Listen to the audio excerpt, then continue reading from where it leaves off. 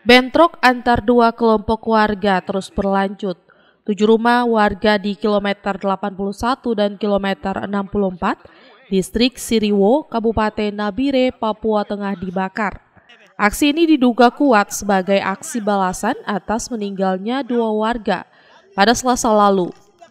Pasca aksi tersebut, aparat gabungan TNI Polri dikerahkan melakukan blokade di Jalan Trans Nabire untuk mencegah kedua kelompok melakukan aksi balasan.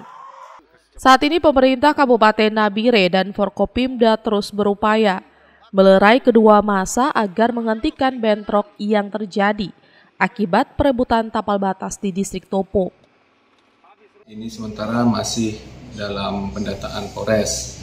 Demikian juga dengan kejadian uh, tadi malam itu uh, diinfokan adanya uh, pembakaran di kilometer 81 ya itu sementara juga masih dalam uh, pendalaman atau investigasi dari pihak Polres Nabiri dan Polres Dogiai.